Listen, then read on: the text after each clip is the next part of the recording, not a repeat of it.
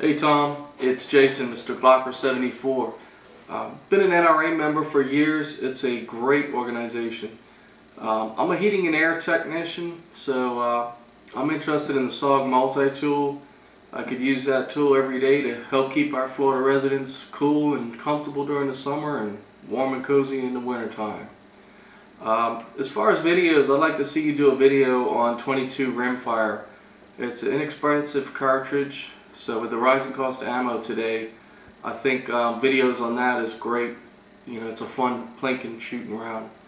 Uh, so thanks for your channel. Keep up the good work and uh, have a good trip. Thank you.